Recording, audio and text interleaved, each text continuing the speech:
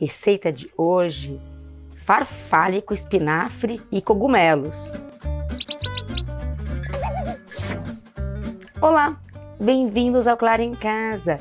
Receita de hoje: farfalle com espinafre e cogumelos. Bora aprender a fazer? 400 gramas de massa farfalle, 400 gramas de champignons, eu vou usar hoje shimed, 300 gramas de espinafre fresco, ó, já limpinho, cortado em folhas, 3 colheres de sopa de azeite, 3 dentes de alho picado, meia xícara de creme de leite fresco, pimenta do reino ao gosto, umas folhinhas de manjericão, 100 gramas de parmesão ralado grosso e sal a gosto. Eu vou começar cozinhando o meu macarrão na água. Eu vou até trocar ele de, de lugar aqui, ó, para pegar mais potência. Deixa eu esperar um pouquinho o nosso macarrão cozinhar. Enquanto isso, sabe o que eu vou fazer? Eu vou refogar os meus champignons. Eu trouxe aqui para vocês verem. O shimed, ele vem assim, ó, normalmente, tá vendo, ó? Desse jeito, às vezes até com esse bulbo aqui maior. Como é que a gente fatia o shimed para ele ficar desse jeito aqui? A gente corta aqui, ó. O meu já tá lavado, tá? Só passo uma água rapidinha, porque esse champignon é que nem uma esponja. Se deixar enche de água e eu não quero isso. Essa parte aqui eu vou perder mesmo, eu não quero, tá?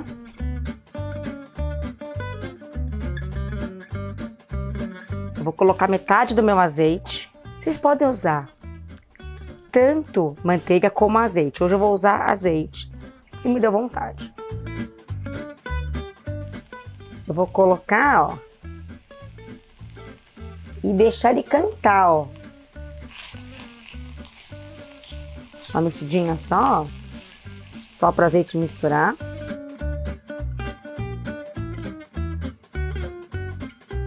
Um pouquinho mais de azeite. Agora, que ele já tá pegando cor, eu vou salgar ele, ó. Porque se eu colocar sal muito antes, ele vai encher de água e eu não quero isso. Olha ele ficando dourado, ó. Hum, até o cheiro dele muda. Vocês podiam, vocês podiam estar usando shimeji, champignon branco, shiitake. Hoje eu escolhi o shimeji. Qual é o melhor champignon? Sempre mais fresco. ou do meu farfalle, sal na água. E aí para cozinhar, vocês podem colocar um fiozinho de azeite ou um fiozinho de óleo, como vocês quiserem. Deixar ferver, aí tira a tampa, tá? Olha com o meu champignon, ó, ficando douradinho, ó. Meu farfalle, cozinho ele, na minha receita tá 8 a 10 minutos. Quando tá 8 a 10, eu sempre tiro com 9, vai, vamos lá, pra tal, mas ao dentezinho que eu prefiro. Mas é o gosto do freguês. Começou a ferver, relógio, 8 minutos.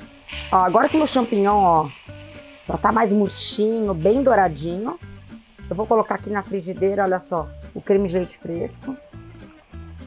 E vou ó, limpar, olha só, a frigideira com ele. e vou tirar do fogo. Sou bem econômica nas minhas frigideiras, eu gosto sempre de usar a mesma, sabor em cima de sabor. Eu vou usar exatamente essa daqui para fazer meu espinafre e para depois servir o meu farfalho. Colocando o resto do meu azeite aqui na frigideira, vou pôr o meu espinafre. Eu tiro os cabos maiores, tá vendo? Por que, que eu não tirei antes?